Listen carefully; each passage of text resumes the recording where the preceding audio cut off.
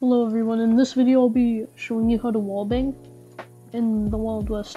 So basically wallbanging is when you shoot through a wall and it goes through the wall, the bullet goes through the wall, and then it hits something. So there's this thing called penetration and basically penetration is uh, penetration is how uh, how strong how strong a bullet can, can go through. So like if a gun has uh, powerful penetration, then and then it'll go through thick walls.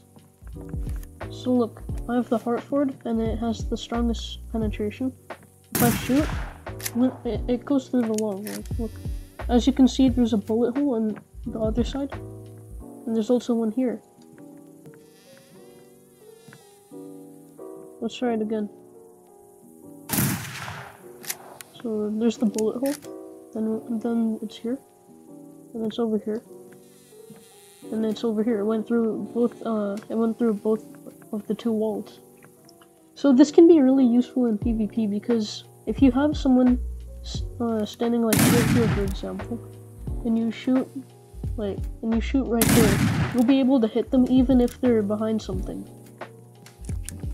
But keep in mind, not all guns can cause penetration, and some guns can't, like the like the bow.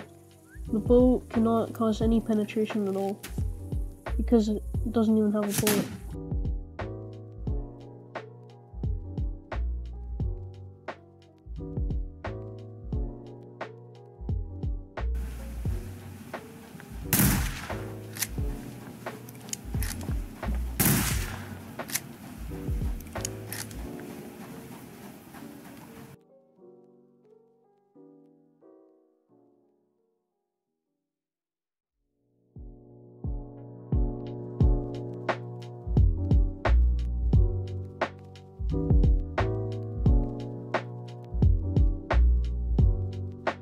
you